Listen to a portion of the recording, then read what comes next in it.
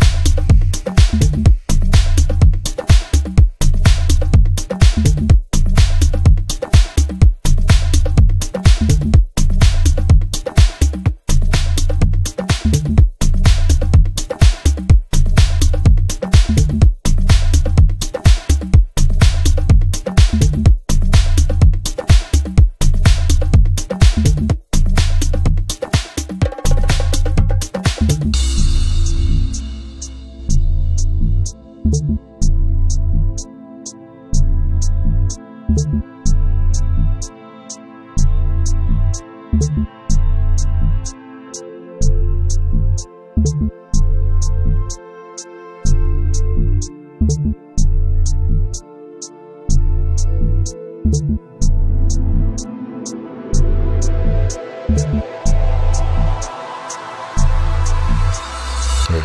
hey.